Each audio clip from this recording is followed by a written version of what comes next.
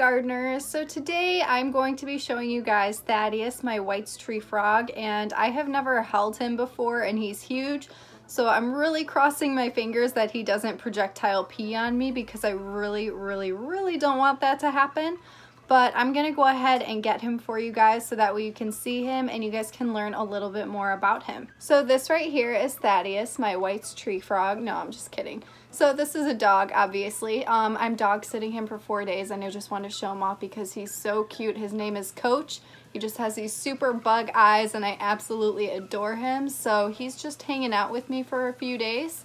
So I'm to actually go ahead and get that frog for you guys. So this right here is Thaddeus and he is my White's tree frog and he is a handful. So a thing with White's tree frogs or any other amphibian is if you're going to be handling it, which it's best not to, but if you have to, the best thing to do is get your hand wet before handling them because they are very sensitive and you don't want to be hurting their skin whatsoever. So Thaddeus is also known as a dumpy frog and because they're just super dumpy looking, like look at that little face. He's so cute. He just wants to look at me now. He's not peeing on me though, so I'm very happy. Um, he loves to eat. I found him at this pet store. I already kind of told you guys his story when I got him, but he was not planned whatsoever. I kind of got him because my boyfriend said we needed to rescue him from this pet store because he just was crammed in this enclosure with another frog.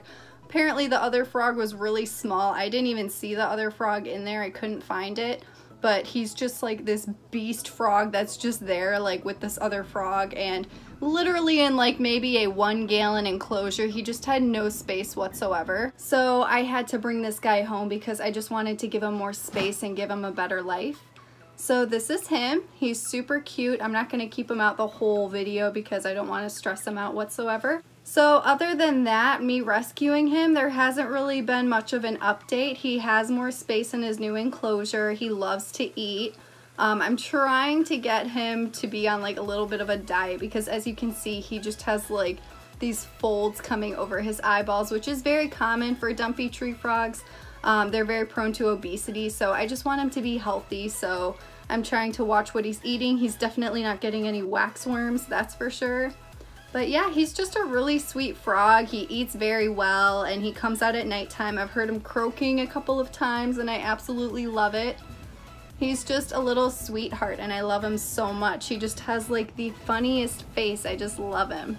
So yeah, that's Thaddeus. There isn't really much to say about him other than he's just adorable and he loves to eat. So this is Thaddeus. I absolutely love this guy. Um, I'm going to go ahead and put him back in his enclosure and I'm going to put some clips at the end for you guys to see a little bit more of him. So I hope you enjoyed the video.